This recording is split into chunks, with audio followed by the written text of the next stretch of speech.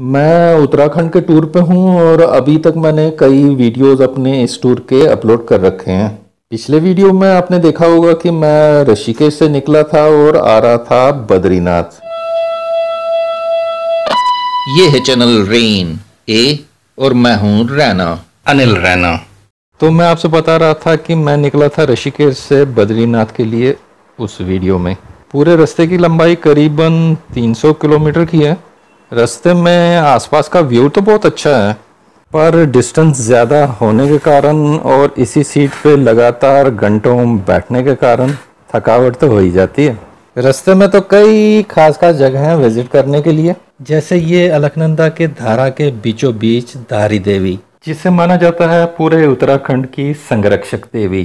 पर तो भी इसी देवी के कारण कहा जाता है कि 2013 में केदारनाथ में जल प्रलय आया था। कहानी ये है कि ये मंदिर 200 साल से भी ज़्यादा पुराना है। इस एरिया में एक हाइडल प्रोजेक्ट बन रहा था, जिस कारण से मंदिर का पानी में डूबने का खतरा था। तो 16 जून 2013 की सुबह को यहाँ की मूर्ति को अपनी जगह से हटा दिया गया, एक ऊँची जगह पे प्रतिष्ठित करने के लिए। पर उसी शाम आ गई जल प्रलय केदारनाथ में। तो बहुत से लोगों का मानना यह है कि इस देवी को ये सब करना पसंद नहीं आया और उसने दिखाया अपना प्रकोप वहाँ पे। अब इस सब के पीछे सच्चाई क्या है, वो तो देवी ही जानी। वैसे ये एक लोकल डिएटी है और इसे काली के साथ भी जोड़ा जाता है। और भी जगह हैं, जैसे ये करण प्रयाग का अलकनंदा और पिंडर का संगम स्थल।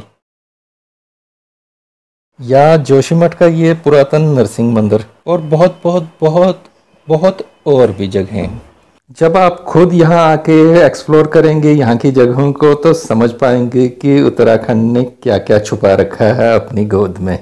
क्योंकि हमारा टारगेट स्टेशन था बद्रीनाथ तो हम निकलते चले गए सीधे ही बद्रीनाथ के अपने होटल तक पहुँचने के लिए। अब दिन भर के सफ़र के बाद हम फाइनली पहुँच ही गए हैं अपने hotel Amrit Tara the Awadh पे। जैसा मैंने पिछले वीडियो में दिखाया था। फाइनली हम पहुँच ही गए बद्रीनाथ और ये है हमारा hotel Amrit Tara. The Awadh. उस और जगमगा रहे हैं बद्रीनाथ टाउन के घरों की लाइट्स ये रही यहाँ की बिल्डिंग्स जो अभी रात में दिखेंगी नहीं क्लियरली आपको। तो हम चलते हैं होटल में ही। वो ऊपर दूसरी मंजिल पे हमने बुक किया हुआ है यहाँ का स्वीट चलिए सैर कराते हैं आपको वहाँ की।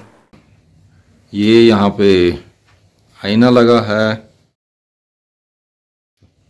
ये बेड है टॉयलेट है एक। ये सब है इस्त्री करने के लिए। ये यहाँ से फिर दूसरा कमरा। यहाँ पे ये बेड है और अपोजिट साइड पे यहाँ पे टॉयलेट है। यहाँ पे बुई है, सोफ़ा है, टेबल है, लैपटॉप है।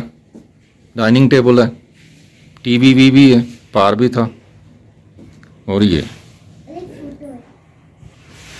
आई समझ? आपको? ये सब है यहाँ पे। तो मैं फ्रेश होके खाकू के सो जाता हूँ और आपसे मिलता हूँ सुबह।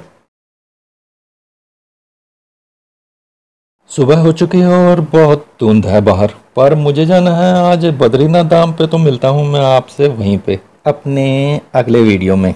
तब तक चूल्हे नमस्कार सत श्री अकाल।